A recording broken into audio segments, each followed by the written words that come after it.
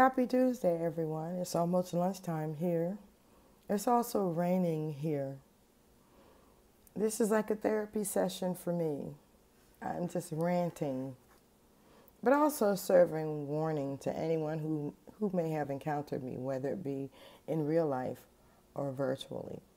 When I say that I see you, I see you.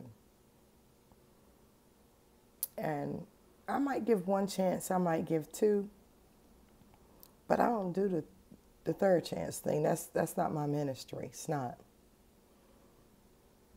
I didn't believe people when they said you were a snake, but a snake is exactly what you are. I thank God that I listen more than I speak and I watch. Not only do I watch, I pray because I don't never want to think negative about anyone, but some people are just who they are. They just either love them or hate them. I'm a type of person. There is no in between with me. You either like me or you hate me. I'm going to make sure that you choose. But when grown people try to make me choose one person over the other, uh, Patricia is always going to choose Patricia because I always guard my peace. I see people with plenty of potential, but I also see people who constantly get in their own way. They get in their own way because they want to take shortcuts. Sometimes there's nothing wrong with sitting out drama.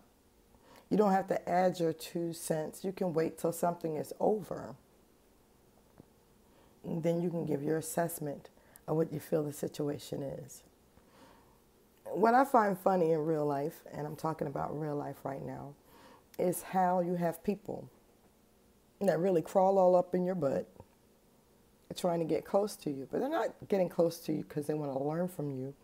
They get close to you to try to get dirt on you.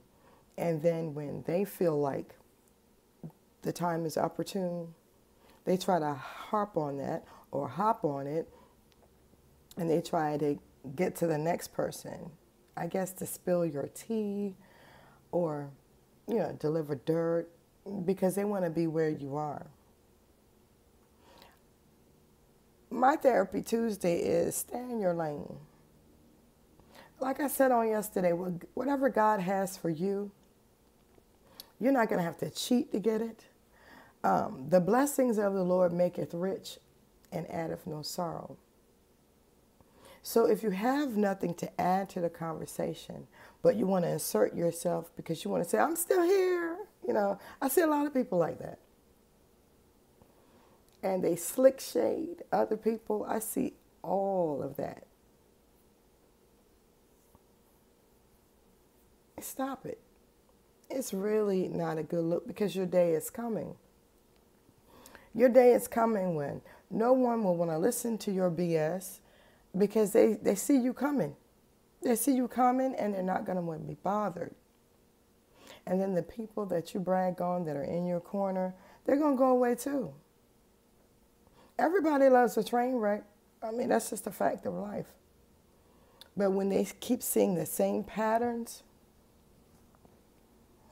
or whatever, and when you're not mindful of your audience and when you don't take into consideration what people that actually support you might be truly interested in, slowly but surely they fade away. See, I don't do no great big announcements like I'm leaving this or I'm leaving that. That's not me. I just leave. Do I talk about the people that I've associated with? No, I don't. But if I hear they've been talking about me and trying to um, cast aspersions upon my name, or I'll get you all the way together because, you know, I ain't, I've not reached perfection yet. I've always been petty. I'm, I'm not going to lie. I love Jesus, but I'm petty, petty, petty.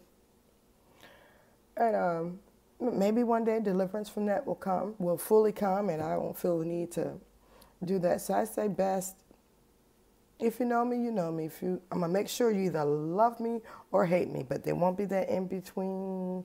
You ain't gotta worry about straddling the fence. You ain't gotta worry about none of that. Not with me. That's how I am everywhere I go. And everywhere you go, you take you with you. If you're messy, if you are two faced, if you're a backstabber, that's you. That's that's your nature. And I've seen a lot of two faced backstabbers. And I don't I don't deal with them. I have no conversations with those type of people. Because I'm trying to see what God sees in you. But I ain't God. Anyway, you enjoy the rest of your Tuesday. I'm going to enjoy mine.